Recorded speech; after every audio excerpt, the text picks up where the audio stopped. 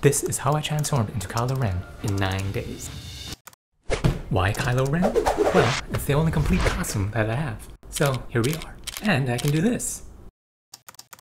Okay, let's key out the footage, create the 3D environment, test the animation, and hit the render button. Plug that into After Effects, composite the 3D renders, add effects, color, hit another render button.